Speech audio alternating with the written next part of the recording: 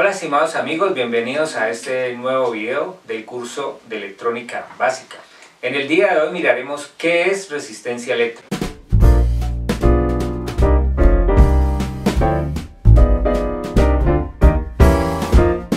Resistencia eléctrica es la oposición que hace un determinado material al paso de los electrones o al paso de la corriente.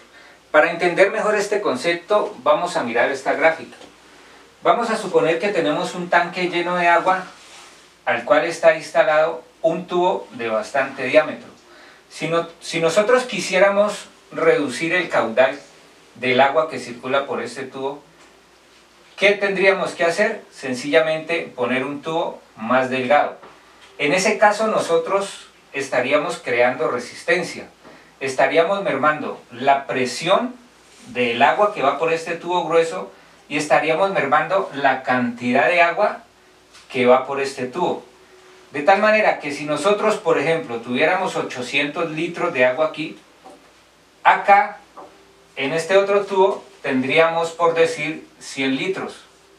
Entonces, estamos mermando la cantidad de agua y estamos mermando la presión del agua. De igual manera, es la definición de resistencia eléctrica. Vamos a suponer que tenemos una fuente de voltaje la cual nos da 12 voltios y 10 amperios. A esta fuente de voltaje tenemos conectado un conductor como puede ser un alambre de cobre. Si nosotros necesitáramos reducir este voltaje y esta corriente, sencillamente a este conductor le vamos a instalar una resistencia. ¿Qué va a ser la resistencia? Se va a oponer al paso de estos electrones. Por consiguiente, acá vamos, a tener menor voltaje y menor corriente. Si nosotros tenemos 12 voltios, 10 amperios, acá, dependiendo del valor de la resistencia, nos va a mermar. Por ejemplo, puede ser que tengamos 5 voltios y puede ser que nos salga 2 amperios. Esa es la función principal de una resistencia.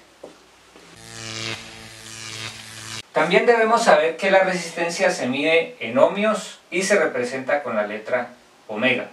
De esta manera damos por terminada esta definición de qué es resistencia eléctrica y los sigo invitando a seguir viendo los videos de este curso, curso de electrónica básica.